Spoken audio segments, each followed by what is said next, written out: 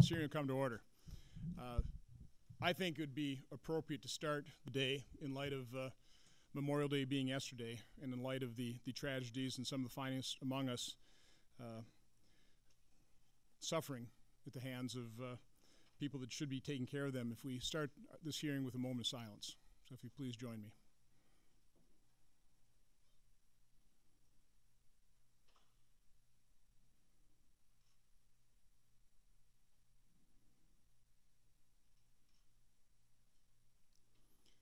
Thank you.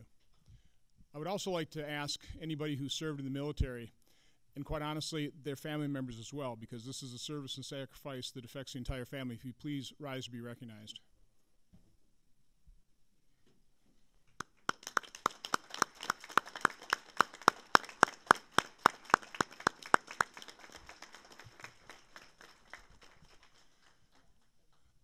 Thank you all for your, your service and sacrifice. The purpose of this hearing is to make sure that uh, the rest of America honors its promise to you. Uh, that's what really is the heart of this hearing. I, I truly want to thank uh, everybody who's appeared and, and attended this hearing today. I want to in particular thank the surviving family members of, of Jason Simcakoski and Thomas Baer and Chris Kirkpatrick and Dr. Car- Carrington. In March of 2015, we held a hearing where the family members stepped forward and whistleblowers stepped forward and provided powerful testimony. And it was powerful testimony. We heard from Dr. Noel Johnson and Mr. Ryan Honl and Marv and Heather Simcakoski and Candace Dellis.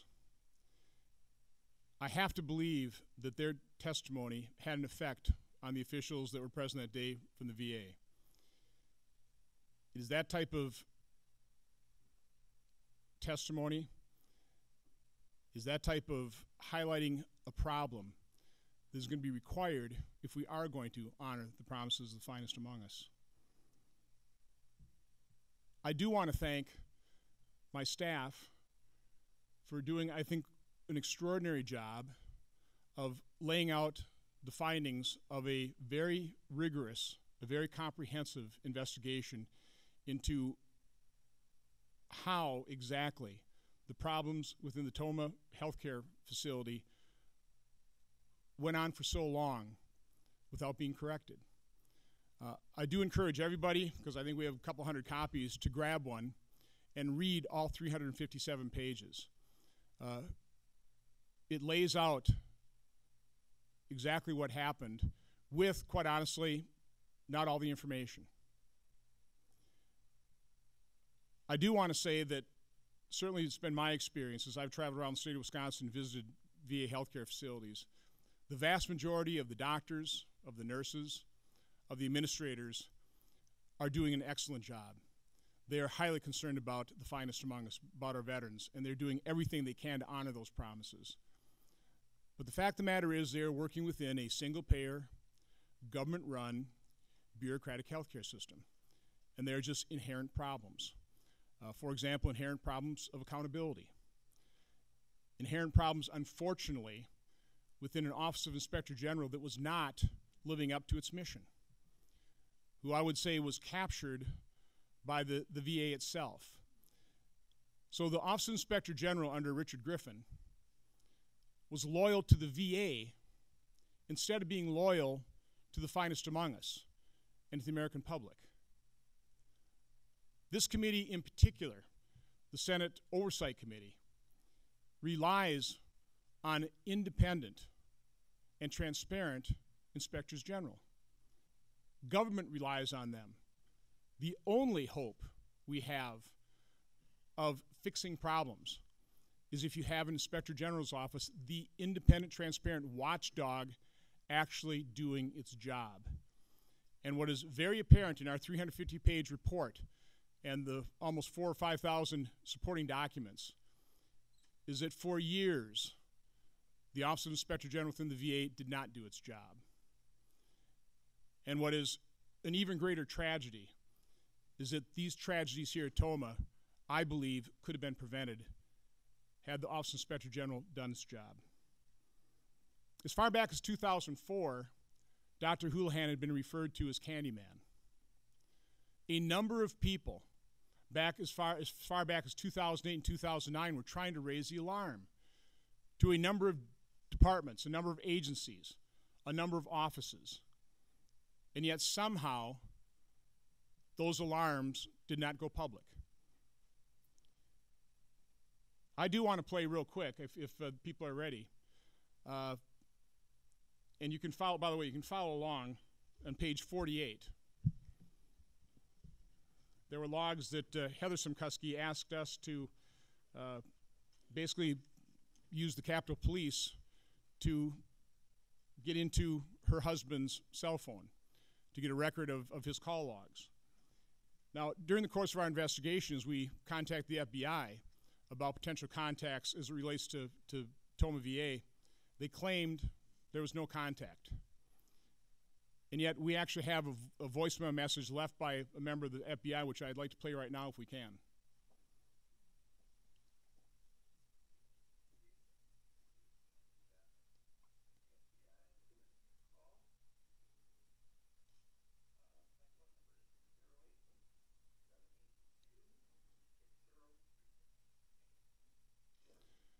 Now, we asked representatives of the FBI and the DEA to appear today, and they, they declined. They are also continue to convey to, to this committee and to our staff that they have no record of ever having been contacted by Jason Simcakoski. I find that puzzling. I find it troubling.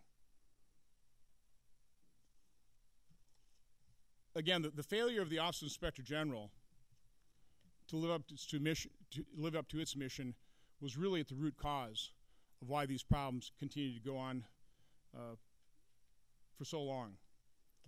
I do want everybody to refer to page 208 and 209 because I think this is a classic example of how the Office of Inspector General, in their inspection, in their investigation here, narrowed its scope, refused to look beyond its scope, and as a result, didn't do his job. 2008, according to our report, during its site visit, this is the first site visit uh, directed by Dr. Mallinger to the Tomah VA following reports uh, that began in 2011, the hotline reports. But during its site visit to Tomah VAMC, VA Office Inspector General officials interviewed both Dr. Houlihan and Deborah Frazier. During the interviews, both Office of Inspector General Physicians and Special Agent Porter of the VA OIG's Criminal Division observed that Dr. Houlihan and Ms. Frazier appeared to be impaired. Now, unfortunately, during that initial in investigation visit, uh, Mr. DeSanctis was not present. So the Inspector General's team held a phone conference with Mr. DeSanctis, and in 2009, you can read how they informed Dr. DeSanctis or Mr. DeSanctis about their concern with Dr. Houlihan and, and Nurse Frazier potentially being impaired, potentially being drug users. There are numerous whistleblower reports that also suspected that Dr. Houlihan and Nurse Frazier were drug users. I want people to read exactly what the Office Inspector General did. All he did was inform Mr. DeSanctis and suggest that Mr. DeSanctis perform drug tests on those two individuals. We have no idea whether those drug tests were ever performed. I, I would think if uh, they were, back in 2012, these tragedies might have been prevented. So, again, the, the bottom line of, of what this report shows is it was the failure of the Office Inspector General and the failure of other agencies and offices to actually highlight the problems that they were made aware of that allowed these tragedies to occur. And we'll get into this further in terms of uh, uh, the testimony and our questions to it. I, I, do ask that my written opening statement be entered in the record without objection. With that, uh, Senator Baldwin. Thank you. Thank you, Chairman Johnson. Um, I want to thank you for organizing this hearing today, and I also want to add my words of appreciation to your staff, to Senator Carper's staff, and to my uh, staff uh, in terms of the undertaking uh, that uh, uh, resulted in this work product. It is um, a very significant uh, investment on their part, and we appreciate that. I, I think the fact that we are both here again today uh, sends an important message to this community that we will continue to work across the partisan aisle in order to address the problems at the Tomah VA. In fact, I would describe it as there is no aisle. As Americans, we are united. Uh, we are united by an eternal bond with the families and friends of our fallen. And we are also united by the sacred trust that we have with our veterans and their families. Um, today, as we hear the story of how that sacred trust with our veterans and their families has been broken, it's important for us to keep in mind what unites us.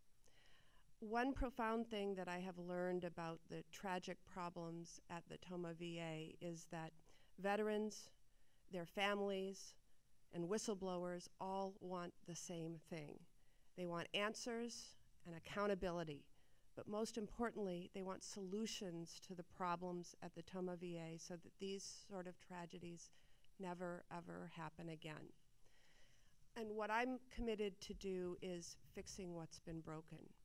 What I'm focused on is restoring the sacred trust that we have with our veterans and their families. The committee's report makes clear much of what we have known for some time. The problems at the Tomah VA have had tragic and preventable consequences. The report sheds light on the failures surrounding the deaths of Craig Farrington, Dr. Christopher Kirkpatrick, Jason Simcakoski, and Thomas Baer. What this report can never do is repair the damage that their losses have had on families, many of whom are here with us today. It's just as clear to me today that it was, as it was a long time ago, that the VA prescribed Jason Simcakoski a deadly mix of drugs that led to his death. And those responsible at the Tomah VA for this tragic failure should have been held accountable long ago. In fact, they should have been held accountable before Jason's death. The record is clear. For far too long, serious problems have existed at the Tomah VA, and they were simply ignored or not taken seriously as they should have been by the VA and the VA Inspector General. My office was just one of many voices who were trying to expose the problems at the VA. When my Senate office was first contacted in March of 2014 with complaints about the Tomah VA, including prescribing practices, they came from an anonymous whistleblower someone who still remains anonymous today. We immediately brought those concerns to the Tomah VA and then to the VA Office of Inspector General and then to the U.S. Department of Veterans Affairs headquarters in Washington, D.C. Four months prior to Jason's death, I called for a full review and investigation from the Tomah VA. Two months prior to Jason's death, I called for a full review and investigation from the U.S. Department of Veterans Affairs and the VA Office of Inspector General. On August 30th, 2014, Jason tragically died at the Tomah VA as a result of what was medically deemed mixed drug toxicity. The Simcakoski family lost a son, a husband, a father, and we lost somebody who faithfully served this country. If there's one thing that I want to come out of this hearing and one thing that comes from this report, I want it to be this.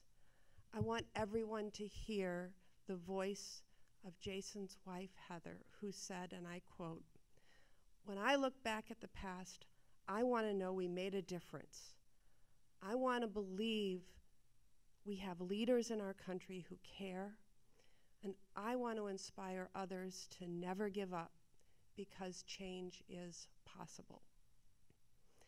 Jason's family, just like veterans and their families in this community and communities across Wisconsin, are not interested in finger pointing and a blame game, and neither am I. That's why over the past year, I've focused on solutions to the problems at the VA. We've worked across party lines to advance reforms that will improve transparency at the VA Inspector General's office, um, to strengthen protections for whistleblowers, and to provide stronger oversight of VA prescribing practices. Um, I authored a reform that was recently signed into law which requires the VA Inspector General to submit reports to Congress and make them available to the public. That is the standard that must now be met. Last year, I had the honor of working with Jason's family to develop legislation to provide the VA with the tools that it needs to prevent this type of tragedy from occurring to other veterans and their families.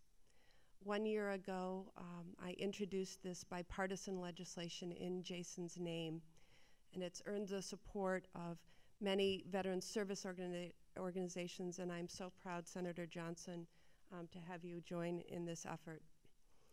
I am pleased that the House of Representatives recently passed a version of Jason's bill, and I'm equally grateful to members of the Senate Veterans Affairs uh, Committee for their bipartisan support of Jason's uh, bill, um, the Jason Simcakoski Memorial Opioid Safety Act.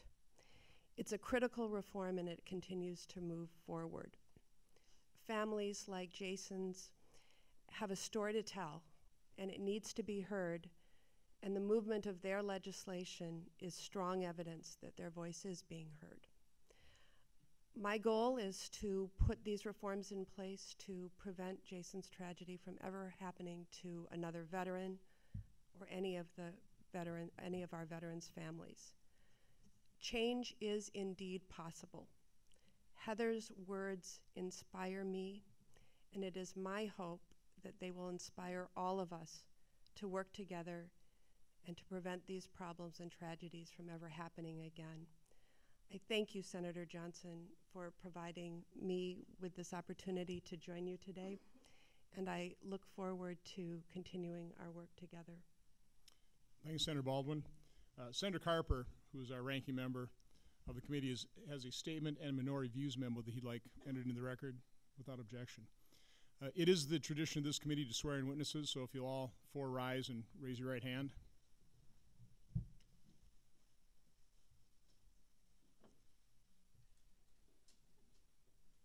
Do you swear that the testimony you will give before this committee will be the truth, the whole truth, and nothing but the truth, so help you God? I do. I do. Please be seated. Our first witness is Mr. Sloan Gibson. Mr. Gibson is the Deputy Secretary of the Department of Veterans Affairs. Deputy Secretary Gibson is accompanied by Dr. Gavin West, Senior Medical Advisor, Clinical Operations, Department of Veterans Affairs. Mr. Gibson. Let me begin by expressing my heartfelt sympathy to the Simcakoski family. Uh, I know that no words can ease the pain of your loss, but I would be remiss if I did not uh, recognize the courage and the compassion and the deep devotion that you have displayed in all the work that you've done since Jason's death uh, to make a real difference in the lives of many other veterans. Thank you, and God bless you. I'm accompanied today, as you mentioned, by Dr. Gavin West. Um, I wanted to point out prior to his appointment to the responsibilities you, you uh, described, Dr. West served as the Chief of Primary Care and Associate Chief of Medicine, accountable for the delivery of evidence based, high quality, patient centered care uh, across VA.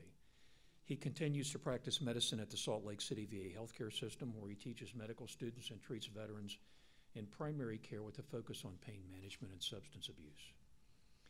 He understands the issues and challenges we're facing at Tomah from years of traveling across the country working to optimize clinical care. As many sites, as many site visits to VA medical centers include visits here at Tomah. Uh, most importantly, perhaps, is that Dr. West served as the co-chair of VA's National Opioid Safety Program. Jason's death forced us to dive deeply into the Tomah system. What we found was an organization facing numerous challenges in dire need of change and new leadership. The problems at Tomah have been well documented failures related to the prescribing practices of controlled substances, examples of inadequate oversight of care delivery, and failures related to culture. We own those challenges and problems, those failures. I own those problems, those failures. Avoidable, avoidable harms to veterans are unacceptable. When they do occur, our obligation is to act with urgency to investigate and prevent a recurrence. At Tomah, there was a clear and inexcusable lack of leadership that created and exacerbated these serious problems. The excellent frontline staff here at Tomah that you've acknowledged in your comments, Mr. Chairman, working under new leadership is fixing those problems. On October 5th, we appointed Victoria Brahm as acting director. In her new role, Vicki didn't wait to take action to improve veteran care. On November 27th, she began executing Tomah's 100 day plan. For those of you that are unfamiliar with this concept, 100 day plans are a best practice of new leaders as they transition into their roles. They're not meant to fix everything, but to set a clear and bold direction while delivering near term tangible results. The 100 day plan period ended in March, but the work continues to transform the way Tomah leaders operate, to change how Tomah treats our veteran patients, and rebuild trust with veterans, employees, and the community. Thanks to this ambitious plan and the dedication of caring frontline staff, Tomah, once a symbol of the overuse of opioids, is actually on its way to becoming a model for change in best practices. Let me highlight some of the great work by Vicki and the staff. In April, Tomah completed more than 98% of their appointments within 30 days. In fact, nearly 17,000 appointments were completed in April. Of all of those, 217 were over 30 days from the day that the veteran wished to be seen. Their wait times are consistently among the best in all of VA. For primary care, less than three days, specialty care, less than six days, and for mental health, a little more than two days. Vicki and the team are working to restore trust among veterans. She's opening lines of communication with our veterans by opening her door, meeting with countless veterans these past months. Other continuing efforts include developing an academic detailing team to review the medical center's most complex chronic pain patients and provide additional recommendations for their care. To support this initiative, more than 30 primary care and mental health providers attended academic detailing educational sessions in the month of March. She's also creating a veteran pain school to assess and customize alternative pain management strategies for veterans.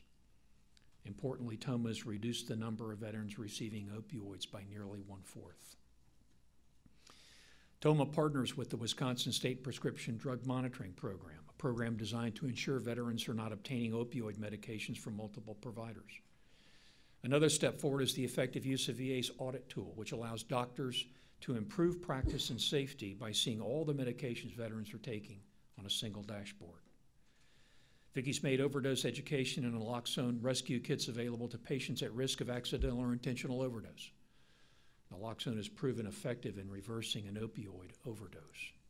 Simply put, she's finding options, alternatives, and solutions other than just a bag of pills. Let me tell you about one of Tomah's best practices. Evidence shows that the best outcomes in pain management occur with a comprehensive approach across multiple disciplines, with the patient as the central focus. This empowers the veteran to be an active participant in decision making regarding pain care options. Tomah developed the Integrated Pain University, which is strongly based on patient education and empowerment. This whole health perspective identifies and addresses biological, psychological, and social aspects of pain management in conjunction with assessment by the patient aligned care team and any necessary specialty consults. Additionally, veterans receive information through a variety of elective classes taught by their respective healthcare professions, which include pain medications, pain nutrition, pain and sleep, aromatherapy, mindfulness, the neuroscience of pain, the introduction to movement, staying motivated, and spirituality. The result of these and other efforts, as of the second quarter of fiscal year 2016, just over 9% of veterans at Tomah are prescribed some form of opioid. Across the entire country, across all of VA's population, that national rate is nearly 13%. Vicki and the team are also listening. They're listening to veterans, to the community, and to employees. Listening led to the development of the Tomah VAMC Veterans Experience Council and the Strategic Partnership Committee. The Veterans Experience Council will help make sure that Tomah leaders have a clear understanding of how veterans perceive VA, while the Strategic Partnership Committee will work to strengthen and promote a unified approach to veteran care throughout the community. Vicki's hosted more than 15 employee listening sessions covering all work shifts at the medical center. These listening sessions are critical in getting a sense of how staff can better serve veterans while using input from these sessions to improve, to improve employee engagement, making sure employees are satisfied with their work environment. Monthly staff meetings, quarterly nurse town halls, and roundings with local union officers are all part of the larger efforts of our commitment to employees. As a result of these and many other actions, we're seeing Tomah's performance improve as measured both internally and by veterans themselves. By understanding the challenges and taking ownership of the problems, Vicki and the leadership team are improving the organizational culture and climate, providing more oversight, effective oversight of care delivery, and addressing problems in prescribing practices. While there's more work to be done, while there is more work to be done, this strategic direction has led to a real positive change. Vicki's modeling effective leadership by taking ownership and accepting accountability of past mistakes in order to make tangible progress in caring for our nation's veterans. Bob McDonald and I talk a lot about sustainable accountability, making sure employees understand our mission, values, and strategy. It's accountability that results in positive veteran outcomes, not just in the very near term, but over the long term as well. And I believe that's what we're seeing here at Tomah. Across all of VA, our work to change prescribing practices and develop alternative approaches to pain management is delivering steady progress. We've also developed a predictive model and a clinical decision support tool to identify patients being treated with opioids who may be at risk of suicide related events or overdose. The stratification tool for opioid risk mitigation estimates the likelihood of an overdose or suicide event in the next year, providing patient tailored recommendations for risk mitigation and non opioid pain management options. Lessons learned have taught us that greater engagement improves lives. We're also getting unwanted drugs out of veterans' hands. Removal of veterans' unwanted and unneeded medications reduces the risk of diversion, as well as intentional or unintentional overdose, overdose or poisonings. As of May 1st, approximately 27,000 pounds of unwanted and unneeded medication have been collected and destroyed in an environmentally responsible manner. The overuse and misuse of opioids is a national problem, not just a VA problem. What we're doing here at Tomah and across VA is part of a broader national effort to fight opiate addiction and overprescribing of powerful drugs. Our hope is that VA's efforts here and elsewhere will become part of a national approach that will benefit not just veterans, but all Americans. We still have work to do. With your support and the support of many others, we will succeed. The needs of veterans can't be secondary to other agendas. It's unacceptable to VA leadership and should be unacceptable to anyone claiming to care about our nation's veterans. I need your help to change the dialogue and the perception of this facility in order to get the right people interested in these jobs. Mr. Chairman, I appreciate your committee's support in identifying and resolving challenges here at Tomah, and we look forward to your questions. Thank you, Mr. Gibson. Our next witness is Mr. Michael Missal. Mr. Missal is the Inspector General for the Department of Veterans Affairs. Is this on? I think so. Uh, I, I had the privilege of going on the Senate floor and asking unanimous consent to have you confirmed. I know Senator Baldwin, and a number of us were, were calling for a permanent Inspector General, and we're glad we have one. Uh, Mr. Missal is accompanied by Dr. John Daigh, Assistant Inspector General for the Healthcare Inspections within the VA Office of Inspector General. Uh, Inspector General Missal. Thank you. Chairman Johnson, Senator Baldwin, Congress, Get, get it closer, you would. how's that? A little bit. Chairman Johnson, Senator Baldwin, Congressman Kind, and Congressman Walz. Thank you for the opportunity to appear today regarding the Office of Inspector General's past inspections of the Tomah VA Medical Center and our work in the areas of pain management and opioid use. I am accompanied by Dr. David Daigh, Assistant Inspector General for Healthcare Inspections. He is a retired Army colonel and spent over 25 years providing health care to soldiers. First, on a personal note, I want to thank all veterans for their great and selfless service to our nation. In addition, I want to express my sympathies to the families of those impacted by events at Tomah. All of us at the OIG need to take these experiences and use them to improve VA's operations. Finally, as the son of a World War II veteran, I had a strong reminder of our mission's importance when I had the great honor of attending the wreath laying ceremony at Arlington National Cemetery yesterday. On May 2nd, 2016, I was sworn in as the Inspector General. Since then, I have immersed myself to understand the people, work, and goals of our office. I have, impre- I have been impressed with the OIG staff, many of whom are veterans, and their focus on bringing about positive changes in the integrity, efficiency, and effectiveness of VA operations. While my integration has gone very well, I know there is much more to learn. I strongly advocate three overriding principles for our office. First, we must maintain our independence in all of our work, including avoiding the mere appearance of any undue outside influence. Second, we must be as transparent as possible while safeguarding the privacy of veterans, whistleblowers, and others. Third, we must produce work of the highest quality, making sure it is accurate, timely, fair, objective, and thorough. During my first month, I've spent significant time reviewing our healthcare inspections of Tomah. I have also met with the Homeland Security staff on two occasions to ensure they have the necessary information about our work as it pertains to Tomah. My written statement contains a timeline of events related to the Tomah inspection closure, administrative closure, and I will not repeat it here. The inspection was administratively closed given the totality of the facts identified at that time. Specifically, that the allegations could not be substantiated, the impact that disclosure of unsubstantiated allegations could have on an individual's reputation and privacy, and knowing our forthcoming 2014 national report would highlight many deficiency in VA providers' compliance with opioid prescribing guidelines. I would like to comment on the white paper about the Tomah inspection that was issued by my office on June 4th, 2015. I do not agree with its tone or the gratuitous attacks on the reputation of individuals mentioned in it. It does not meet the high standards expected of our office. We have learned important lessons from this experience, including increasing the transparency of our work that should help us better meet our mission going forward. The changes made should increase the confidence that veterans, VSOs, Congress, and the public have in us.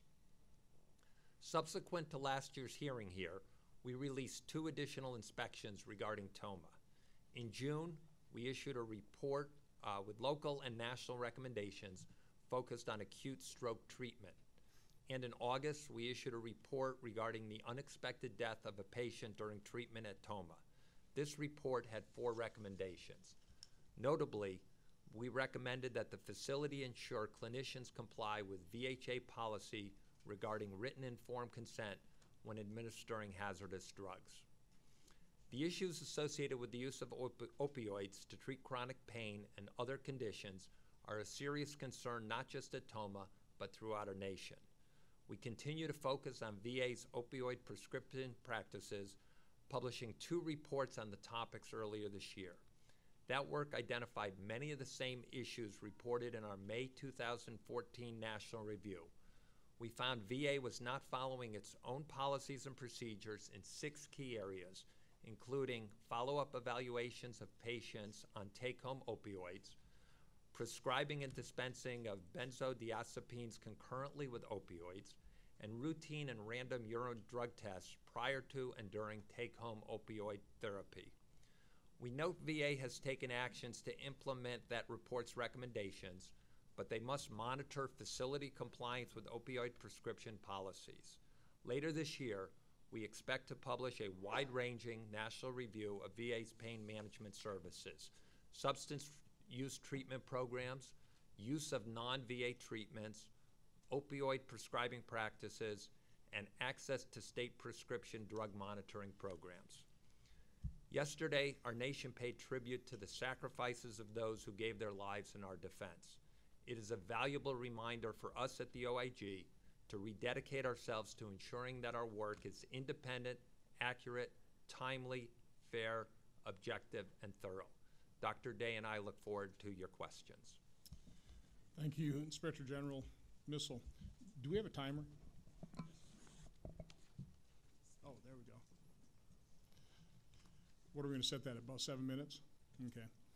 Um, Mr. Gibson, let me start with you. When did the problems here at Tomah first hit your radar screen? When, when did you first hear about them? And, and you've been in the VA how long? Uh, I've been at VA for uh, two years and three months, two years and four months, right around there. Uh, I think uh, uh, I'm, I'm going to go from broad recollection because I didn't go back to check the record. I'm going to say probably sometime around January. Okay, when, when the news story broke, basically. Yes, that's correct.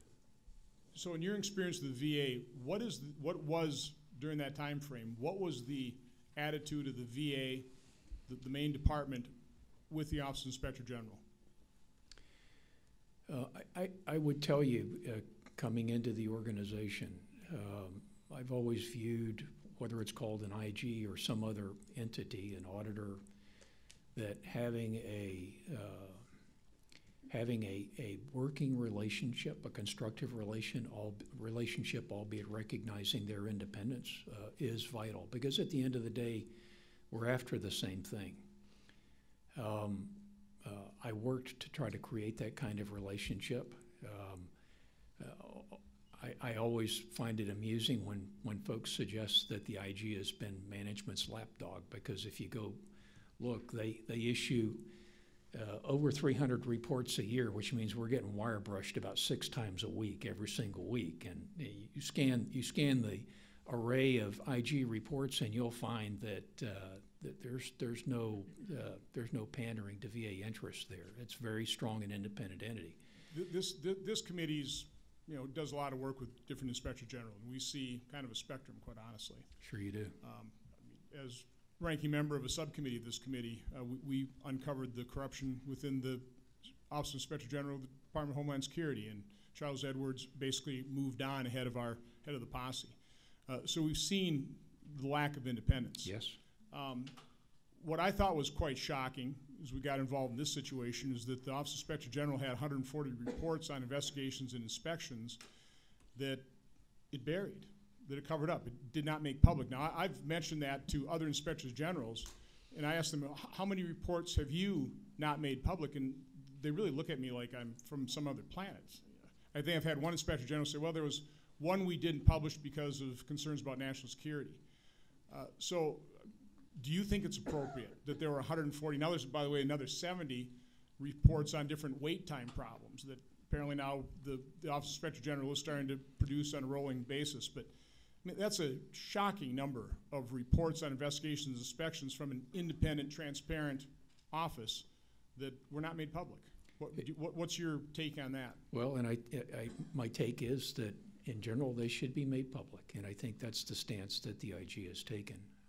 You know, it's, uh, there, there are, there have been instances where, uh, this Office of Inspector General has identified things in the course of their investigation that weren't related to what they were seeking to, uh, look into, where they have come to me specifically to say, you need to know about this, and where we've taken appropriate actions in the wake of that. That's, that's the kind, I think, frankly, part of what you see here. And I wasn't here four years ago, so I can't talk about knowledgeably about what, what was or was not the environment and the, and the practice. But I would tell you over my two-plus years here, that the IG's been willing to bring things to me, and I think it's a much more principled base uh, view. I think some of this, uh, we get we get wrapped up in the rules, And we get so wrapped up in the rules, we lose sight of the principles. And, and so here's a case where I think, quite frankly, this is my view from the outside looking in, where we got, we got focused on the rules, when the rules basically said, this is what we're here to investigate. And, and,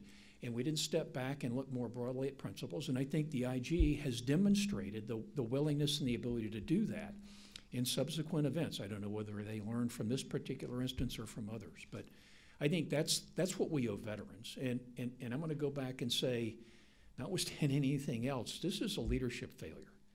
There, there's there are lots of lots of finger pointing and, and everything else. At the end of the day, we own this. VA leadership owns this. Uh, we had ample opportunity over a period of years to fix this. That's leadership's responsibility, Yeah, and we failed to get it done. I appreciate that. Uh, Dr. Daigh, you, you were part of the uh, inspection team uh, for Tomah, correct? That's correct. One of the, one of the things that comes across in our, in our report is the confusion over what is the standard for substantiating a claim. Uh, For example, uh, it, this, in so many instances, this wasn't a he said, she said, which, again, I've been in business, I've, I've had these employee situations where it's kind of difficult when it's he said, she said. This is a case with Dr. Houlihan where it was he said, they said. I mean, there was so much corroboration of the allegations. Uh, how did you come to the conclusion that so many of these charges were unsubstantiated? What, what is the standard? Well, maybe what I could do is go through the allegations one by one, and we could talk about them in that Well, let's, way. let's, let's talk about, why don't we talk about the allegations of a climate of fear, a culture of fear within the, I mean, there was so many reports, and it was so obvious that Dr. Houlihan, according to testimony, was a bully and created that and retaliated, and, and there were people fired as a result. And Chris Kirkpatrick committed suicide after he was fired. I mean, there was so, so much accumulated evidence. How could that not be substantiated? So we did substantiate that there was uh, an issue between, the- with the relationship between the chief of staff and the pharmacist primarily. And we transmitted that information to VHA. It was not a surprise. And um, the proof that we transmitted that and that it was not a surprise is at the end of our review, we sat down and talked with both the director of Tomah and the VISN director. And they told us at the time that we were out briefing them of the changes they had made so that the chief of staff no longer supervised the pharmacist. They were aware of problems in the pharmacy and were working to try to correct them. So with respect to the relationship between the chief of staff and the pharmacist, our admin closure lays it out clearly that that was an issue. It wasn't, in my view, the primary problem that was addressed at Tomah. The primary problem was the allegation that Tomah providers were providing narcotics uh, outside the standard of care, and that narcotics were being distributed in such a way that the rules of law were being broken. We looked extensively to find out whether that was true or not. Medical experts reviewed many charts. We reviewed many emails of 17 providers, uh, 17 individuals at VA looking for evidence of malfeasance. We worked with the Tomah police, the VA police, the DEA, multiple times looking for evidence of a problem, evidence of criminality. Our investigators went undercover looking for evidence of criminality. So I'm left with the problem of their allegations, and I just don't have the facts to support many of those Well, allegations. I, I think most people reading our report will say there's a lot of substantiated evidence to substantiate that charge. Just quick before I turn over to Senator Baldwin, on page two seventy, uh, we have your signature on the administrative closure sheet. Um, every ounce of evidence that we can find shows that that administrative closure occurred in August of two thousand fourteen. Uh, I want, want everybody to take a look at two, page two seventy. It completely looks like this has been doctored from eight twelve fourteen to three twelve fourteen. It, it has not been doctored. The- So what, what, what, what further evidence other than this, what looks, appears to be a doctored signature, what other evidence would indicate that you close this out in, in March versus August? The, there, so when uh, information flows, if, I would sign a document, as I signed this one. And unfortunately, in the admin closures, we, we, uh, they come to my desk, I sign them and I write a date on it. So is, is that normally how you write a three? It, it, With an eight kind of, em- you know, kind of embodied within the three? that's, that's, that's the signature, that's what I wrote at that time. Is, is there f- any further evidence that this was actually administratively closed in March of 2014? Because everything else shows that you administratively closed this in August. No, I don't know what you're talking about. The, the, the actual date, date that I signed the report, it then goes into other systems, which are systems of record. And it's entered into what we call a, a different computer system and that it was closed at that time. I find this unbelievably puzzling, and I, I do want to get to the bottom of this. Senator Baldwin? Thank you. Uh, So I want to kind of start where uh, Senator Johnson left off with regard to this, this process on this administrative closure. So the report, a committee report outlines a very long inspection investigation. You use the words somewhat in- interchangeably. Um, Now, the work product after the inspection, the visits, the interviews, et cetera, um, seems to have gone through a number of iterations prior to there being a decision to make this an administrative closure. Um, I know that, um, and you'll see this throughout the committee report, uh, frustrations expressed about documents that were requested from the Inspector General but were not granted to the, the committee.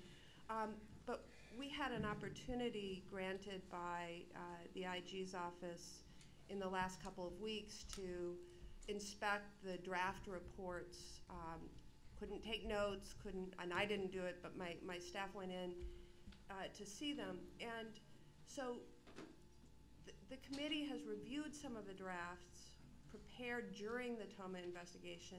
And I was disturbed to learn after I was briefed that things that the IG staff was aware of didn't make it into the final administrative closure.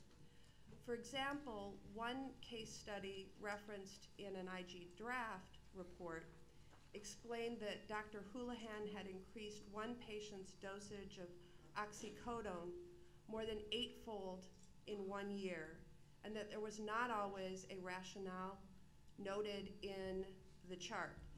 During the same time frame, this patient had nine refills of a Schedule II controlled substance dispensed more than a week early. Probably more disturbing, the case study explained, and I'm paraphrasing because there was not copies uh, available, um, that Dr. Houlihan miscalculated the number of pills prescribed to the patient and that Dr. Houlihan made up for the shortage by refilling the prescription early. Can, can you explain to me why details um, of these case studies referenced in the draft report didn't make it into the final administrative closure? The, um, my instruction to the staff was because the final, because the draft report did not substantiate what I thought were the significant allegations that we were looking at, I asked them then to write an administrative closure. So the same people that wrote the draft report wrote the administrative closure. There were no instructions as to what to put in or what to put out. If you'll take a look at the 140 administrative closures that we had done previously, and I'll say that um, the, uh, that was my understanding in our practice that if I took a hotline, I would either publish it to the web or I would note in the SAR, the semi-annual report to the, to the Congress, that we had an administrative closure. So they were, in my view, made public there, although albeit not with very much detail. Some years there was a lot of detail, some years there was not. But I asked them to write an administrative closure. So they chose, for I don't know what reason, to shorten it up, and, and it was, I don't know, 14 pages for the admin closure. Most of the 140, 11 pages, most of the admin closures that we published were one or two pages.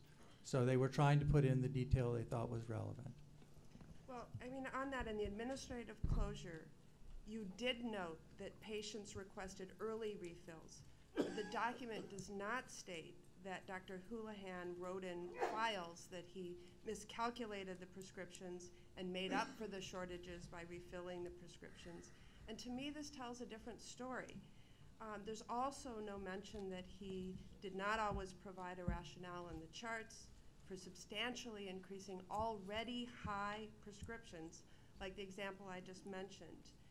So we, we gathered um, in March of 2015 this, uh, the, the Senate um, Homeland Security and Governmental Affairs Committee, and you testified. Um, you testified that staff at Tomah were, quote, at the outer boundary of acceptable prescribing practices, end quote.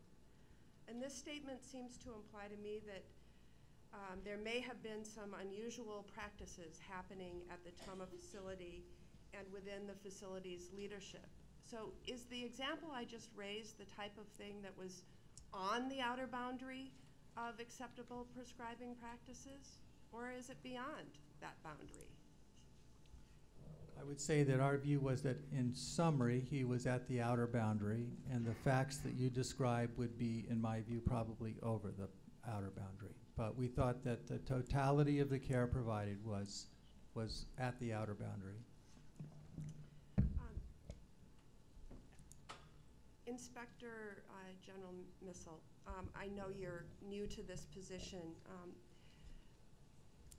but you've read this uh, committee report, and I guess I want to know your opinion on putting, um, putting out a policy that outlines what the standard ought to be in your agency for substantiating or unsubstantiating allegations.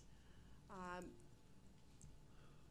at least for cases like this where you think it might be a close call or right outside those boundaries.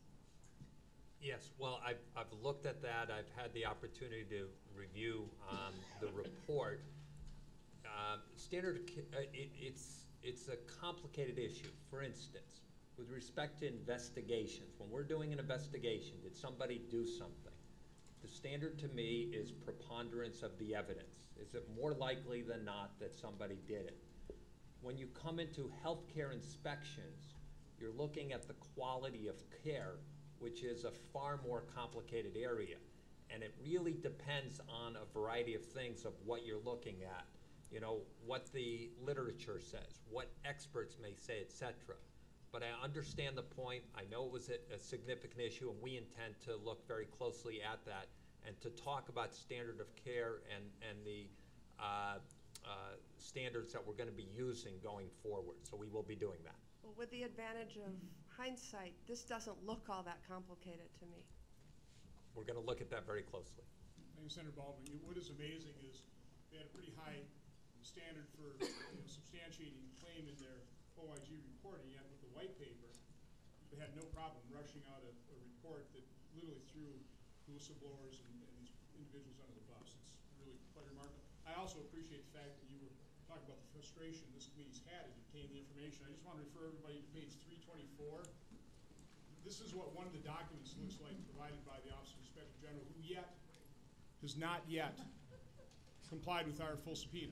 I mean- think about that. We had to, this committee had to subpoena the Office of Inspector General to get the information, and now sixteen months later, well, it's really about a, a year later, because we issued the subpoena at the end of April, still has not complied. So, Mr. Missal, again, we look forward to working with you on that. Uh, I do want to welcome Representative Kind and Representative Walz from Minnesota. Will not hold that against you.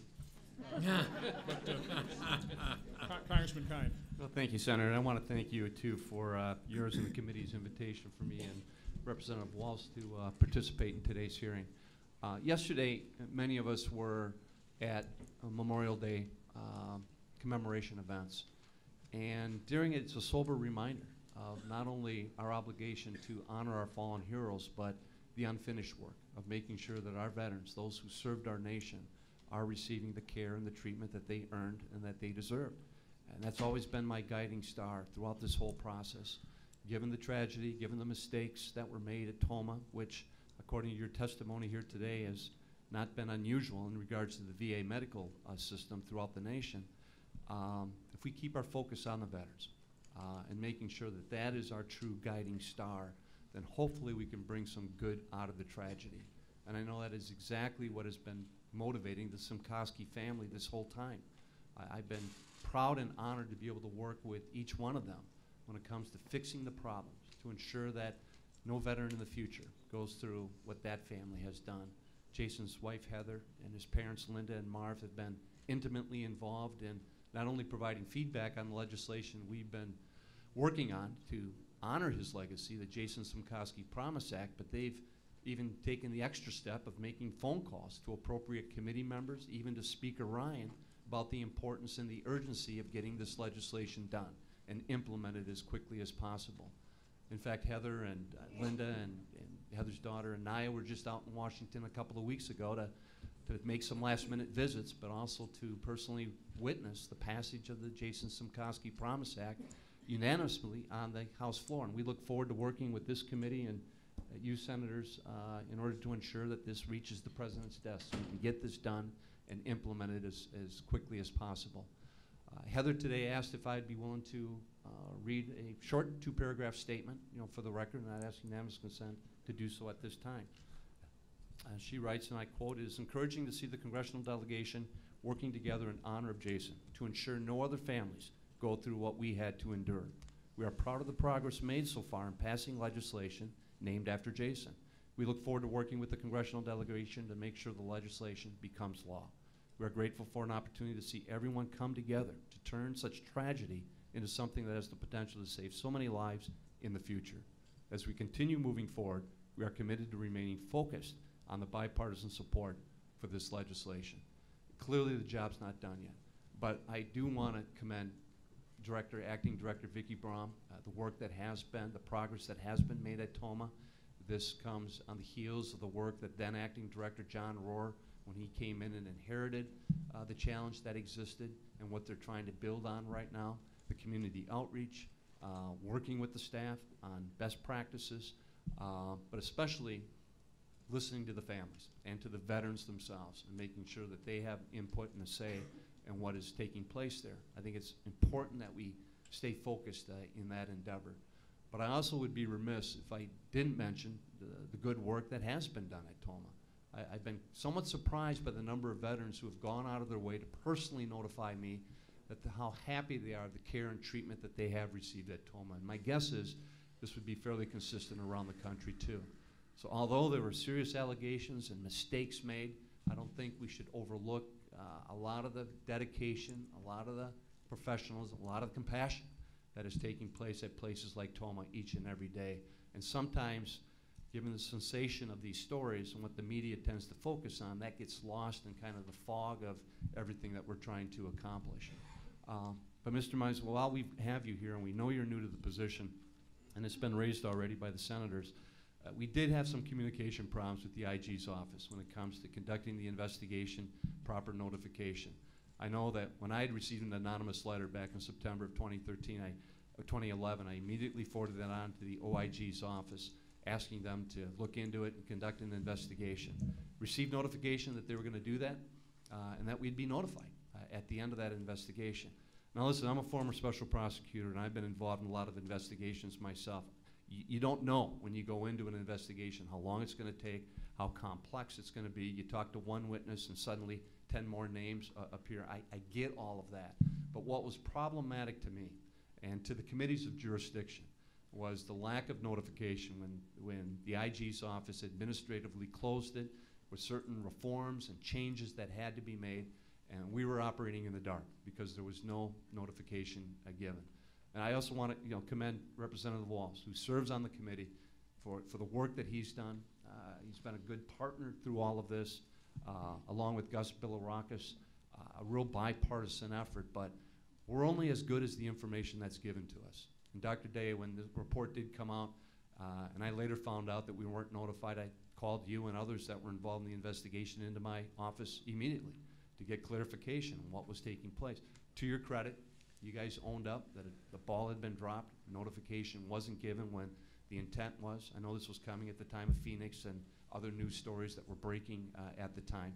But in light of all that, I introduced legislation, the Inspector General Transparency Act, which I'm glad to report was included in the year-end budget last year, which now requires that notification.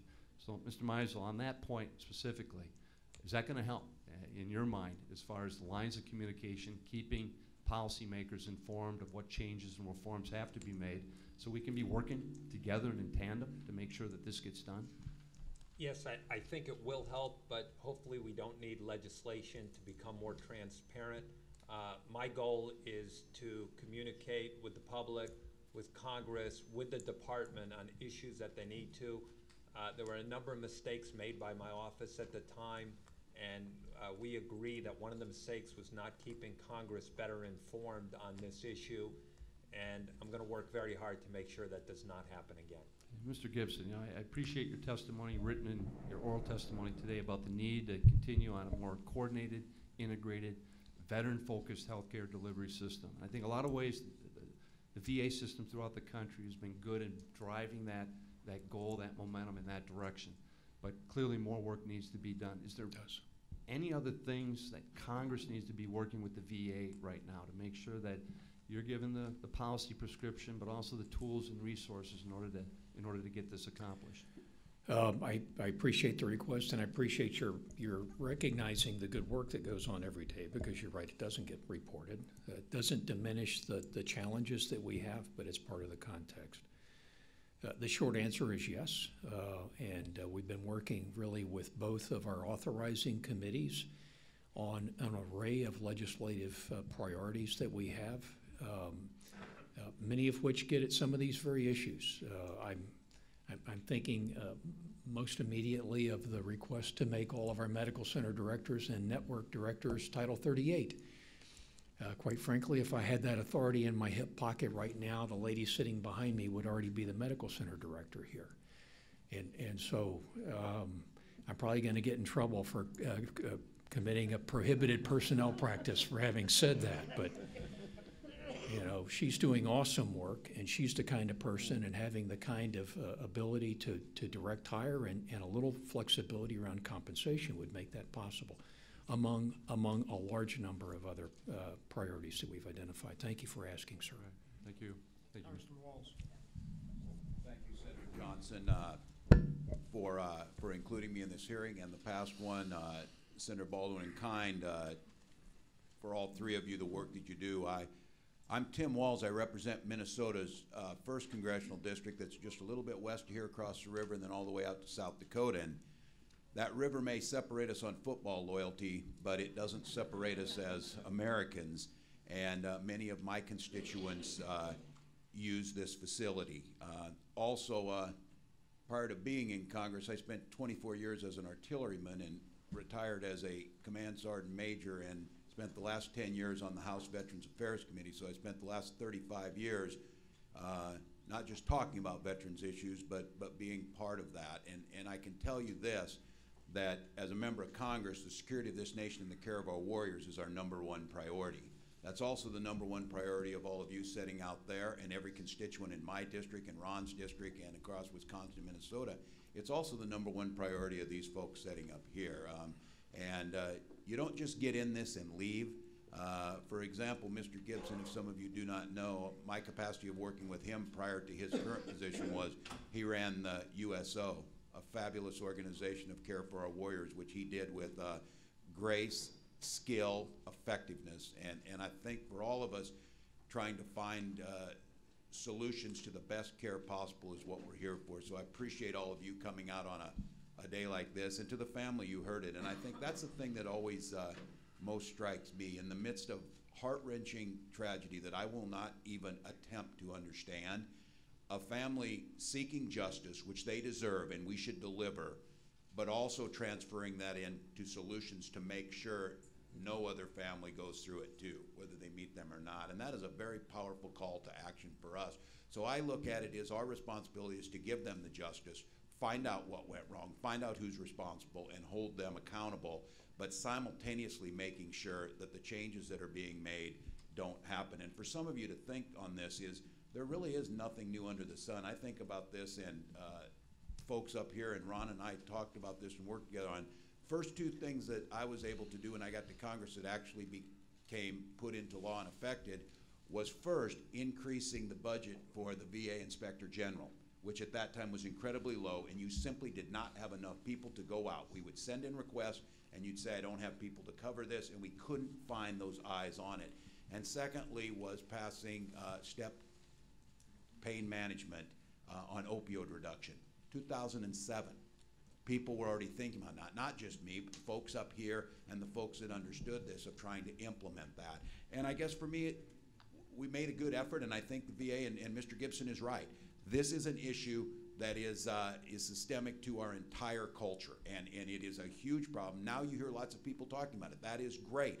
But there are solutions out there. We need to implement them and move them forward. And uh, I know the, the bill that I passed went from 2009 to 2014. We were only able to implement 31% of it by the time it expired in terms of doing this. And this is best practices that are out there. So I think today, in the time that we're going to have here today, uh, I'm going to attempt to try and focus on what's changed at Tomah. Uh, and, and trust me on this. Uh, Mr. Houlihan or anyone else involved in this, justice needs to be served, and we will find that. Senator Johnson will continue to do that. Senator Baldwin, um, as a member of the House Veterans Affairs Committee, I want to know what you've done to make a difference. What happens with my veterans from Houston County who come over to Tomah now, and what's changed? And with my remaining time, I'm going to start on a, a line of questioning on this. Is and Mr. Gibson, maybe you can help me with this. How do I know things are better at Tomah? How do I know if someone asks me, is it better at Tomah? Or is it the same thing that happened when the reputation that, that started this was there? I think some of the, uh, some of the, the activities that I described earlier that Vicki's been engaging in, the open door with veterans, the outreach into the community, uh, looking for ways that we, we, we bring the community together to, to help support our veterans. You know, one of the things that we've started doing recently, because access is such a critical issue for us, is we we've started uh, at our kiosks ask, asking the very one very simple question: How satisfied were you that you got today's appointment when you wanted it? Uh, at Tomah, the answer is 93% satisfied or completely satisfied. Um, it, it is uh, they are doing so many things so well. You can look at you can look at the SAIL data.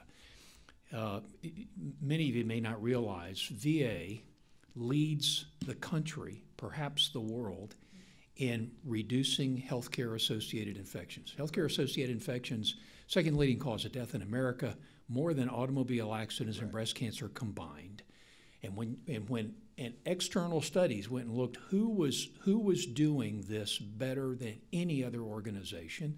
It wasn't the Cleveland Clinic, it wasn't Kaiser Permanente, it wasn't Geisinger, it was VA.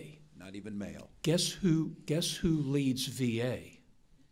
Tomah in minimizing healthcare associated infections.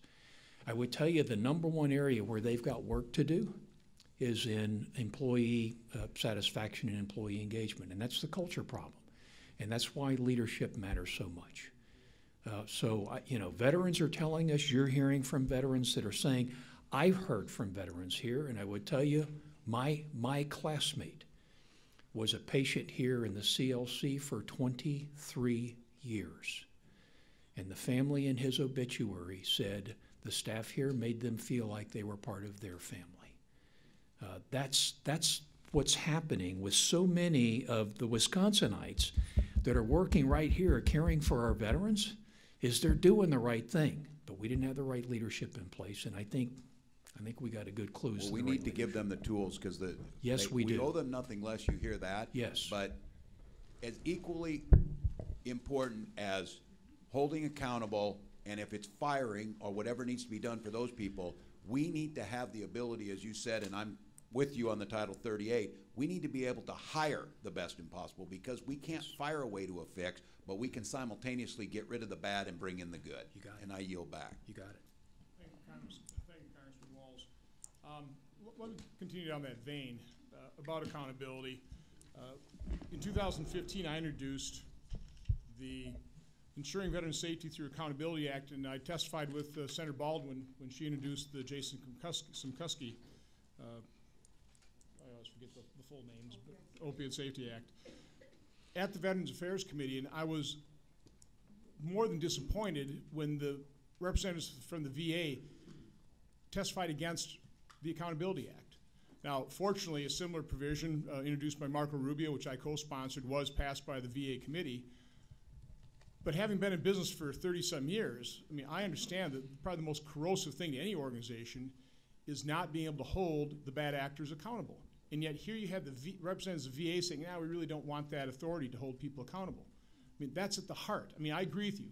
I think all of us here agree with you. As, as we tour around and we talk to the doctors and nurses, and I in my opening statement, they do an extraordinary job. They're really concerned. But unless we really have the ability to hold people accountable, that's what causes these types of tragedies. So is that something that the VA will now embrace, the ability to actually discipline and terminate and hold people accountable within the VA system? Uh, I would, I would say the answer is an unequivocal yes. Um, Good. That has been, that I'll is, move on. well, that has been, that has been part of my own personal obligation as a leader since I first got to VA. I, I'm, I'm the guy that takes action on senior leaders in the department. I'm the guy that issued the removal on DeSanctis. And I'm the guy that looks at other instances what, of particular notoriety to ensure that we're taking the appropriate action. Good. Well, we want to give you that authority because we have to have it. Uh, another piece of uh, legislation I introduced was the Dr. Kirk, Kirk, Kurt, Chris Kirkpatrick. Uh, let me give you the full title of that one as well. The Christopher, Christopher Kirkpatrick Whistleblower Protection Act. And this was really prompted by a committee hearing we had where Sean Kirkpatrick testified before our committee. And one thing that I've been literally shocked by, again, coming from the private sector, uh, even though we have all these whistleblower protection laws on the books for 100 years, the level of retaliation against those people that have the courage to come forward, like Dr. Noel Johnson, like Ryan Honl, like Chris Kirkpatrick, is jaw dropping. Uh, so, again, I, I hope that the VA will embrace and help support the passage of that piece of legislation to give those whistleblowers the protection they really need. And by the way, I would announce again that uh, my committee has set up the whistleblower hotline. It's just whistleblower at ronjohnson.senate.gov. Uh, people are using that. And I think it's also an important step that's required so that whistleblowers within the VA, by, and by the way, the, the highest level of retaliation, according to the Office of Special Counsel, is, is within the Veterans Administration, which is a real problem. So again, will you support the, the Christopher Kirkpatrick Whistleblower Act? I, I don't know what's in the act, and, and I also don't know what's in the accountability legislation you referred to earlier. But what I will tell you is that I, I personally, as the acting secretary, met with Carolyn uh, Lerner, the, the special counsel of the United States. I committed to VA becoming certified, the first large federal department that became certified uh, as a whistleblower protecting organization. I have publicly uh, uh, recognized and uh, uh, and presented awards to whistleblowers. I meet with whistleblowers at every location where I go visit. When I came to, to this location last year, I met with Ryan Honl. I do that. Um, you know, coming out of the private sector, I understand that your most valuable source of information on how to do things better are your frontline employees. The last thing you want are people that are afraid to raise their hand. So everything we're doing as an organization has to do with creating that kind of culture. Uh, a little bit along the lines of what uh, Mike said earlier, I, I don't need a law to tell me to do that. That's back to just good leadership, not necessarily from me, but from people across the department. Good, well, I appreciate that. Uh, Dr. Daigh, as I'm going through the committee's report, and you see that the first hotline uh, notice really was about March 2011, and for whatever reason, it wasn't, didn't rise to the level. And then in August 2011, partly because of uh, Representative Kind's inquiry, so it all of a sudden became a congressional hotline, or congressional inquiry, uh, gained a little steam and got the notice. But it took till 2014 to send, you know, complete this uh, in- inspection, investigation, and then issue some kind of report. There's an awful lot of activity. I think the first site visit was in 2012, and not a whole lot happened in 2013 into whenever, whatever date it actually was closed. What was happening during that point in time? Well, let me first set the record straight on the issue of the date at the bottom of the report. That date is accurate. And if you'll look at the emails which transmit the PDF of the report I signed, you'll find that those dates are consistent with the date I signed. Okay, signed good. So it. we got, great, So that's- appreciate that. That's absolutely the truth.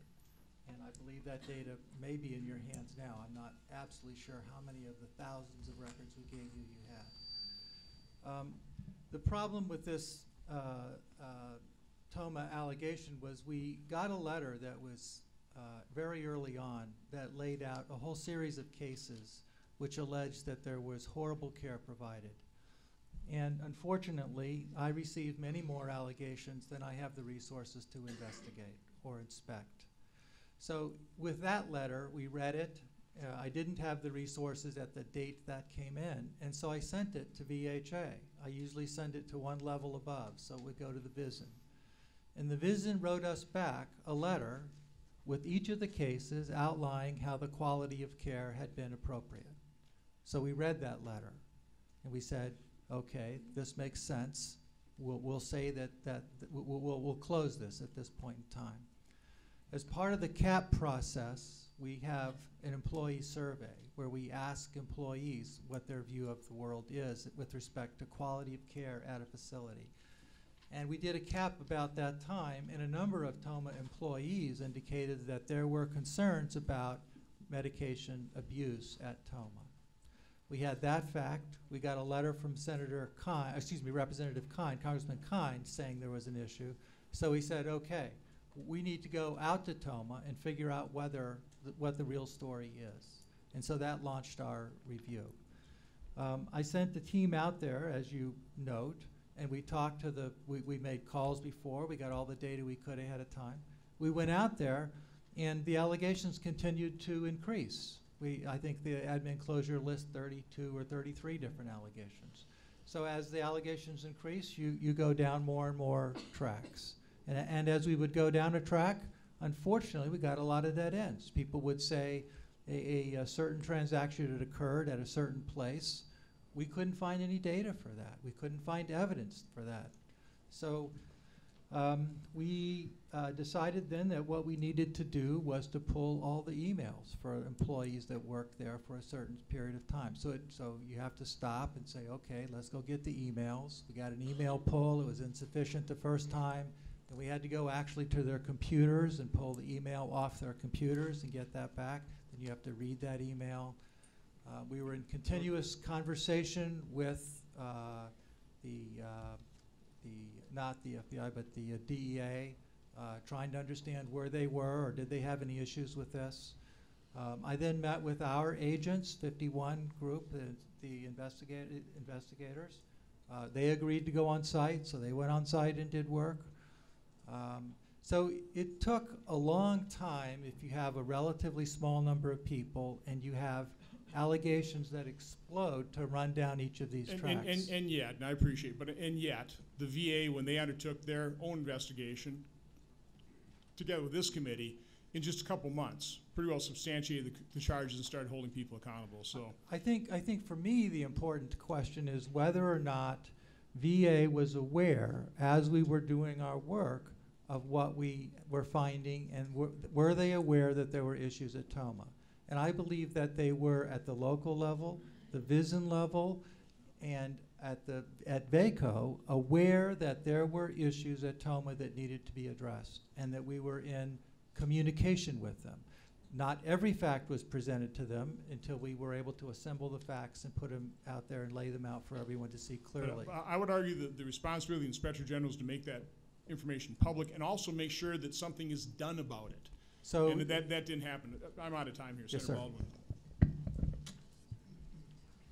On the issue of accountability, um, uh, I have a question for you, uh, Mr. Gibson. Uh,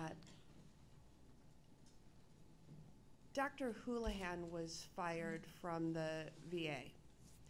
And at the time that he was fired, I wrote to uh, the VA to ensure that veterans would not ultimately be referred to his practice outside the VA through the Veterans Choice Program. Uh, subsequently, through public reports, his license was suspended by the state of Wisconsin. And I received a letter back from the VA indicating that he would not be eligible to serve veterans under the choice program because his license was suspended. Um, you may or may not be aware, again through public reporting, uh, it appears that an administrative law judge has um, reinstated his license during the pendency of proceedings before the state. And so I want to, first of all, get assurances from you that uh, in light of that new development, that Dr. Houlihan would not be getting referrals of veterans through the Veterans Choice Program. Absolutely not. And Senator Baldwin, if I can just quick interrupt, because that's an incredibly important point you're making. That administrative law judge is citing the white paper. So, Inspector General Missal, can you, would you repudiate that so that that can no longer be used by the administrative law judge, that white paper? You know, the- my office um, uh, took the white paper off its website, so to me, that means it no longer is a, a, a a document of the Inspector General's office. Thank you, Senator Baldwin. So, th- this correspondence between me and the VA has highlighted for me that nothing in the VA choice legislation explicitly um, requires that somebody who is fired or suspended um, from the VA for cause related to their service, um, uh, you know, to our nation's veterans, um, there's nothing that explicitly addresses this in the law. And so I feel like this is a dangerous loophole that we currently have. Um, I've recently introduced bipartisan legislation um, that uh, just passed the Senate, although it has not made it all the way through the legislative process. That legislation requires the VA secretary to block a healthcare provider from participating in community programs if that provider was uh, fired or suspended from the VA, violated his or her medical license, or had a department certification revoked or otherwise broke the law. Um, Secretary Gibson, are there steps that the VA can take right now to ensure that this loophole isn't being exploited or taking advantage of by other providers other than the case that we're uh, talking about today? Uh, I have not discussed the matter specifically with the folks that are working uh, care in the community, but I will do so. Uh, There's no reason why we can't impose a, implement a policy that accomplishes the same thing without, uh, without the need for legislation. Um, At the, during uh, our chairman's um, opening statement, he drew our attention to um, uh, portions of the committee report uh, discussing uh, the, um, the concern that two of the witnesses during the inspection were impaired, um, uh, possibly by drugs or alcohol. Um, it was a suspicion. There's a lot of discussion in the committee report on this. Um, I think disturbing was that um, the only two follow-up actions were uh, a um, doctor emailed the VA OIG's general counsel um, wanting to discuss a concern regarding possibly impaired interviewee or S at the end, interviewees. Um, and uh, subsequently, an off the record discussion with the Tomah VA's uh, director at the time, Mario DeSanctis. Um, there's no clear record of whether that tip was followed up on or not. Um, my question is um, Will the VA Office of Inspector General adopt new policies or procedures so that this happens in a future case? And of course, we hope it never does. Um, that the IG suspects that a witness um, uh, employed by the VA is under the influence of a controlled substance, that there is a procedure that will be followed that would provide greater accountability and safety for our nation's veterans. Can I, can I, I, I, I, would I- like to hear both of you Okay. on that, but, um, but this was first, uh, noticed by the team doing the inspection. And, uh, I- and so I want to hear what the Inspector General has to say about procedures if this should ever happen again, and then I'd like to hear from you, Deputy I'd love, Secretary. I'd love to share my two cents worth. Yes, ma'am. Um, With respect to my view on that, if, if I ever see a situation where I think somebody, particularly uh, somebody um, providing uh, healthcare to, to veterans, uh, may be in a situation where they're impaired in one way, um, I would immediately uh, uh, make sure appropriate uh, people um, within VHA or above that were aware of that and to follow up and to make sure um, that that situation was resolved to our satisfaction as quickly as possible. And in this particular case, do you, do you have any knowledge that the committee doesn't about whether um, anything was followed up on by, uh, by Director DeSanctis? I do not have any more information. I, I'm, I'm gonna tell you, based upon my, first time I ever heard of this was reading it in the report. First time ever. This is a, we're right back to leadership. That is what this is about. This is about delivering safe care to veterans. And the failure of leadership that happened here was the failure on the part of the medical center director to take appropriate action. And everything that I, I, issue, I mentioned earlier, I issued the removal on the medical center director. I, I reviewed hundreds and hundreds of pages of evidence. Uh, and I would tell you, not doing something about this would be very consistent with the pattern of behavior that I saw there. It was a failure of leadership. Should not have happened. Period. And I don't need a policy or a rule to try to enforce that. We're back to principles. The principles here, you said, put the veteran at the center of everything that you're doing. And that's exactly what we're trying to do.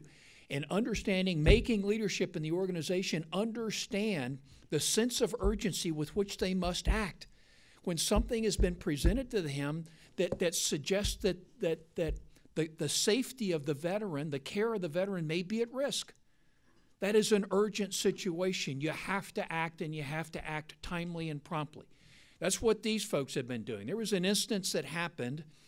Uh, these folks, and I'm not going to, I won't get into the, the, to the great details, but here's the timeline. They became aware on the 19th of November, 2015, that there was misconduct. They launched a fact finding the next day, the 20th of November 2015. The fact finding was completed on the 7th of December, and the proposed removal was issued on the 8th of December. That's the kind of timely action and follow up. That's what good leaders do. And that's what we've got to ensure we've got in place all across this department. We Don't agree need a watchdog to tell us how to do our job. Important to have a good watchdog, but we don't need one to tell us how to do our job. Congressman Kind. Mr. Gibson, stay with you. Clearly, one of the problems we had at Tomah was chain of command.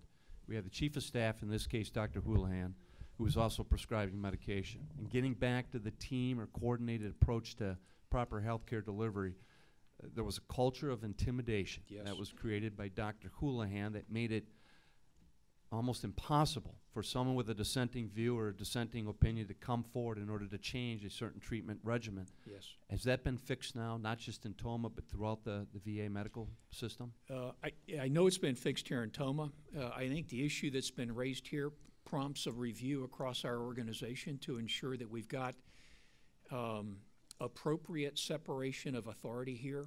Uh, very early on, in fact, at the very beginning of the medical center director's tenure, the issue of separating re- the reporting relationship for pharmacy was raised. The medical center director refused to do that until, I'm going to say roughly a year and a half later, when he finally got a new associate director in place. We had problems in construction with VA, and, and the executive director responsible for that area was uh, encouraged to leave, and he did leave. I accepted direct res- responsibility for construction and facilities management until such time as we got the leadership in place. That's precisely the kind of action that should have been taken here. Well, I think, you know, that's the thing that probably made me the angriest of the information coming out, and probably for most people in this room, wa- was that culture of intimidation, the Yes. bullying that was taking place, and good people trying to do the right thing, keeping the focus on the veterans were cut off. And in one instance led to a suicide, other instances led to firing or people leaving their positions because of this culture that was created. And that, I think it's just essential that we fix that throughout the entire system, or we're gonna have another hearing somewhere else in this country, I'm afraid, talking about the same set of facts. The day you and I were here at Tomah last year together was the day that, that Houlihan was placed on administrative leave. I Remember that. He had been he had been removed from clinical duties, but it became evident to me that he was still exerting undue influence on other providers in the organization. And that was the day he was removed. Well, back to my original question too, what more can Congress be doing working with you? I think in your written testimony, you said we've got to adequately fu- fund the OSC to make sure that there are resources to hire additional investigators. Do you still have that opinion today? I, I, I do. We, we work very closely and very collaboratively with, with the Office of Special Counsel. I would say uh, to my brethren uh, next to me here that there's probably an opportunity for, for the Office of Special Counsel and our IG to work more collaborative, collaboratively together. Sometimes things have gotten in the way of that. But between our investigative uh, resources, their investigative resources, and the Office of Special Counsel's investigative resources, I think there's an opportunity for us to do better by taxpayers and better by veterans I'll both. be happy to follow up with you in regards to Yes, the sir. funding levels and that, but, uh, and I know the VA and here at Tomah are also exploring more alternative and complementary forms of medical treatment, so we're just not loading the vets up on a cocktail of prescription drugs and expecting that to solve all the problems. But there's also a danger of overreacting. And I've gotten some feedback from veterans that it's a little more difficult for them to get the prescription med, the opioids that they need for proper pain management. I, I, I know it's, it's a difficult balance, but how, how well are we doing on that front? Dr. West? Yeah, thank you for that question. And you bring up a very important point that you can't overreact, right? I mean, I'm a physician that still treats patients, you know, every week, uh, kind of in, in my own clinic, and I, you know, I kind of see it every every every week. Um, forever, the the medical system as a whole, you know, including VA and, and our academic centers, was moving towards prescribing pills you know, we found out that was wrong and that that was actually killing people. Now we're turning a big aircraft carrier around, and the way we're doing it is through exactly what you mentioned, you know, complementary and alternative medicines. And there are other medicines to treat pain. You know, they're not just opiates. You know, there are uh, neuromodulating agents and new agents coming out all the time. So, you, you know, as a clinician, you have to be very sensitive to the patient and the individual case and really work through the patient's uh. I mean, this is all a, a, a veteran-centric, you know, work through, and it, takes a long time.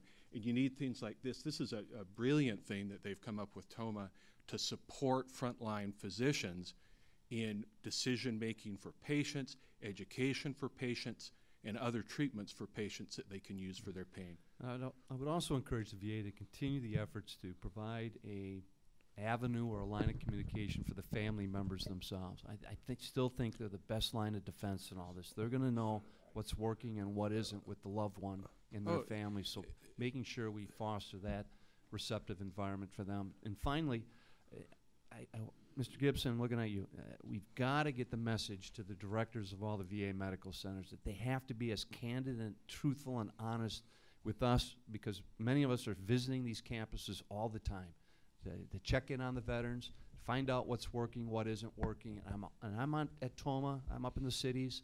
Uh, I try to get down to Madison too, and I, I'm always asking, what do I need to be aware of? Are there any problems here that I need to be aware of that we can work with you? And that, that didn't happen, un- unfortunately, under Director, Director DeSanctis' leadership. When I was on campus, I was looking him in the eyes, and what do I need to know? What's going on? Is there any problems?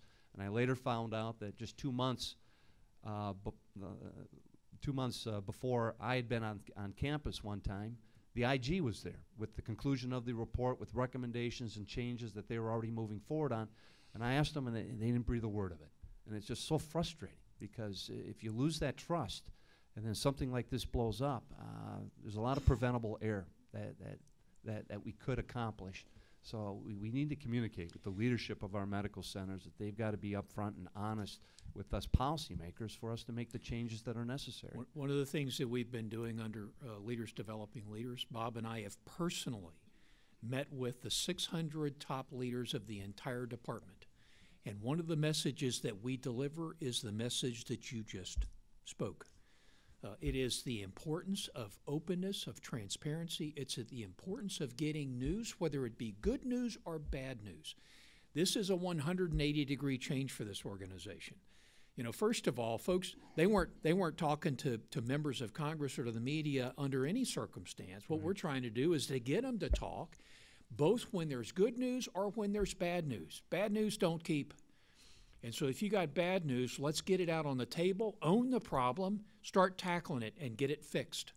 I mean, that's how you earn trust Uh, back. And I again commend Acting Director Brahm because of the open policy that she's had, it has been a sea change, and, and I'm sure we're going to see that continue in the future. Thank Yes, you. Senator. Congressman Walz.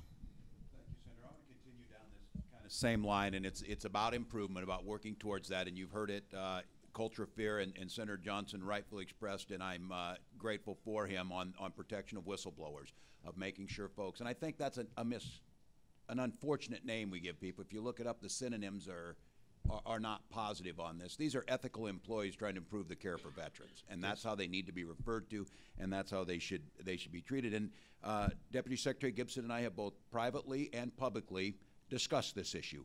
Um, and this is a very this is this is frustrating amongst all of you out there and my constituents.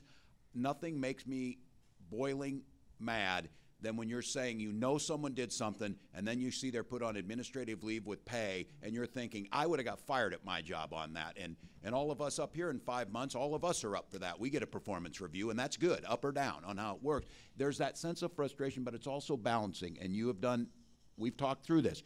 Due process is important to our system of rule of law that's due process for the employee and due process for the veteran and their family of trying to strike that balance.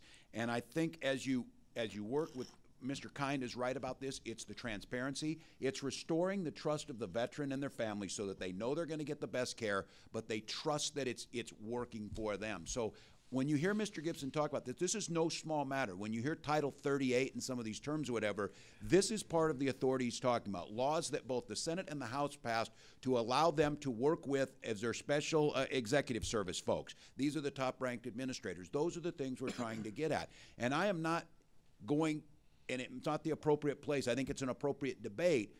But the idea of employee due process, sometimes this idea that you should be able to walk in, point a finger, and say you're gone for any reason, I don't think any of us want to live under that. And I don't think any of us want to get rid of the good employees who are there. So what I worry about is we go gung ho to say, just clean the dang place out and fire all these. You got a food service worker who's been stripped of their right to have someone represent them, bring an allegation forward against bad management, and they don't have anyone to stand for them, and they're gone.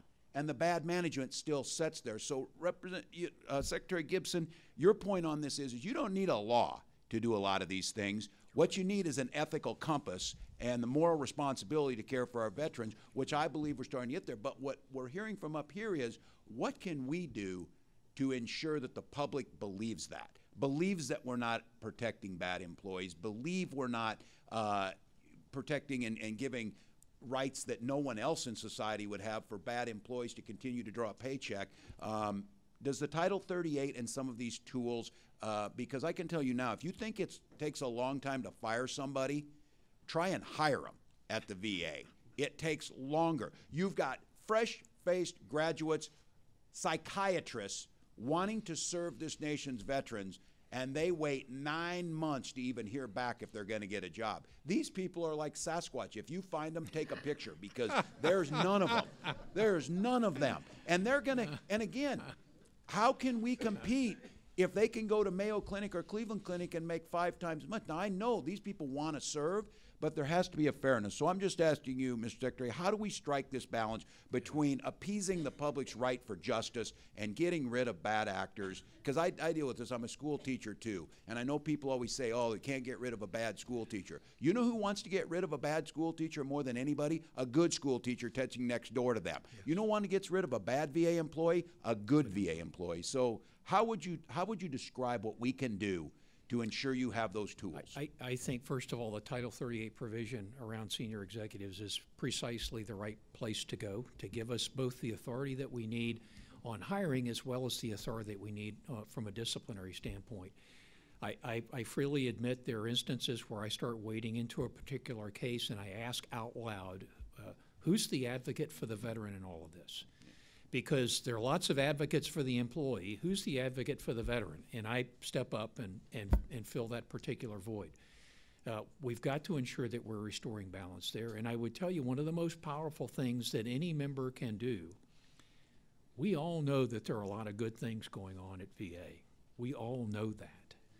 And when there are opportunities to, I'm not saying don't talk about the bad things, because there are bad things that we have to do as well. Just just tell the whole picture. Yes, we got to fix this, we got to fix this, but did you know they're doing this, they're doing this, they're doing this? Because the real tragedy comes when veterans who need to come to VA for help or for care don't because of what they've been reading in the media and they stay away. That's the tragedy.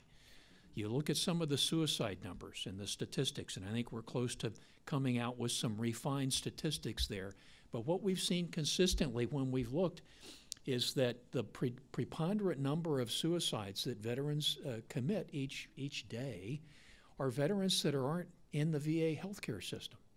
And you look at the, the, the, the old number's been 17 of the 22 are veterans that aren't receiving care at VA. We want those veterans into the VA healthcare system if there's any way, shape, or form for us to get in. There are things that we do, Gavin and I have been having this conversation because of some of the transformational work that he's doing. If, if, I, if we sat here and, and spent 30 minutes and talked about all the things that VA does around mental health care, you would realize there is no healthcare organization in America, perhaps even in the world, that does the things that has the capability that VA has. 550,000 completed mental health outpatient appointments every single month. I mean, the, all of the ancillary support services that we alluded to earlier, it's, it is. Uh, I would argue with I'm you on that. I think this is a very important point you're bringing up, and this is why that simultaneous accountability with improvement, if I could, Senator Johnson, just end with this, that we as a nation need to not talk about those 22. We do not need to set expectations that this is an outcome that's going to happen. We've got to talk about names and an individual. So when we're talking about the mistake here, it's Jason and his family. Yes. What we're going to produce in the future is that individual, and I think that attitude Yes. takes us in a better direction. Yes. Well, thank you, Congressman Walz. Uh, I want to be respectful of everybody's time here. Uh, another round of questions would, would definitely eat into that time. Uh, so certainly encourage uh, the, the members of the committee here and the congressman to certainly submit uh, questions for the record. Uh, I'm sure we all have additional questions. I want to thank our witnesses, uh, but I particularly want to thank the, the families uh, that suffered this tragedy for, and the whistleblowers for coming forward, having the courage to make this public. I know it's not all that easy, but this is what transparency is all about. It's what really does produce the kind of accountability that, uh, uh, and justice that uh, really is deserved here. So with that, I know I've got the, the magic words here somewhere.